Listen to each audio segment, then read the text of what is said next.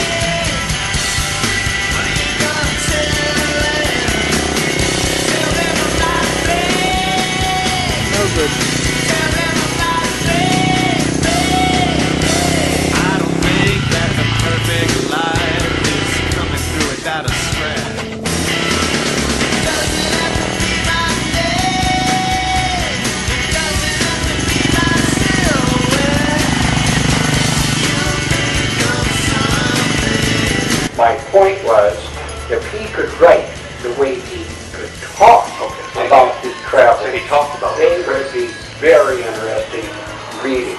Another example of these travels is when he would talk about the trip he took on the sailboat with his second wife going across the Atlantic. It's just a fantastic story.